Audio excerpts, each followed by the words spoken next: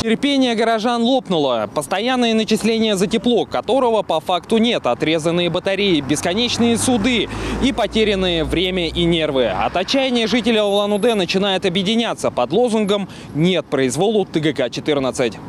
В мессенджерах сотни горожан делятся своими непростыми отношениями с теплогенерирующей компанией. В основном беда одна – батарей нет, а долг есть. Вот и Татьяна разорвала связь с ТГК еще в 2012 году. Однако расставание оказалось недолгим. Почти пять лет мне не начисляли. У меня тоже есть вот а, выписка из лицевого счета, где там все по нулям.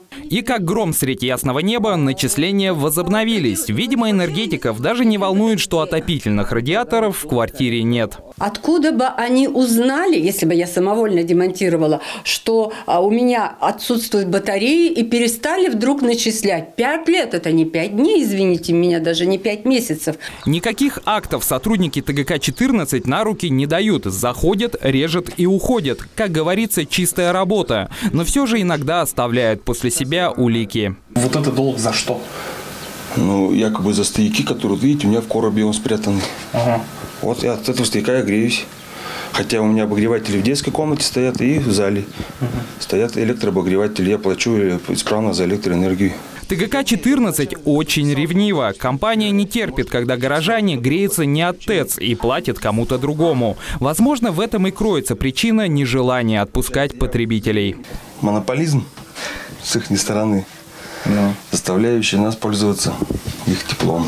А вот Марина попала в должники к ТГК по совету сотрудников ТГК-14. В квартире всегда было холодно, приходилось подключать электрообогреватели. И возник вопрос, зачем платить за отопление круглый год, если можно три месяца немного переплатить за электроэнергию? И он нам посоветовал, вы, говорит, накопите побольше долгов, а я через месяц там или через сколько приду и обрежем будете вызывать инспектора, он вам каждые полгода будет просто списывать э, с учетом того, что э, придет идет описание сделать, нет батарей, нет долга. Ну, мы так и сделали, не задумываясь как бы о последствиях. Акта, естественно, нам никто не дал.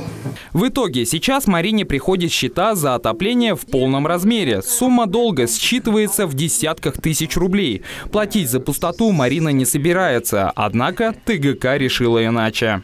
Несмотря на то, что а, долгов по горячей воде нет, а, ТГК-14 выбивает долги таким способом, что просто перекрывает воду. И это лишь малая часть всех жертв произвола тепломонополиста. Мы уже освещали проблему Светланы Марказовой, которая 6 лет живет без батарей. Суды в Бурятии против ТГК выигрывают немногие. Скоро отопительный сезон закончится, но, к сожалению, мучения горожан останутся. Терпение якобы должников достигает точки кипения. Совсем недавно пресс-служба ТГК-14 во весь голос твердила, что всегда предоставляет нам ответы на запросы.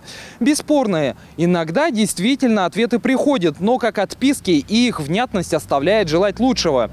На этот раз мы снова отправим запрос ТГК, только на этот раз мы просим видеокомментарий, чтобы у нас был шанс задать вопросы. Ведь если энергетикам нечего скрывать, им и нечего бояться. Илья Балханов, Аркадий Амбуев, Федор Моданов, телекомпания АТВ.